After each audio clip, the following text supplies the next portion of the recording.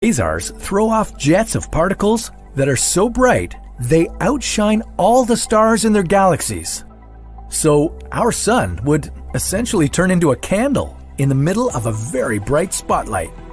The illumination from a quasar, along with all the radiation it throws off, would mess with Earth's atmosphere. The light is enough to energize particles that make up the atmosphere and free them from Earth's gravity. Our atmosphere would be destroyed, and we really need our atmosphere. It's our protective layer that keeps things in order and regulates the temperature. Without it, the oceans would dry up, Arctic ice would turn into water vapor, and everything would get much, much hotter. In addition to it being blindingly bright, we would have no safe air to breathe, no plants to eat or feed animals, and there would be no water to drink. Life on Earth would be a write off.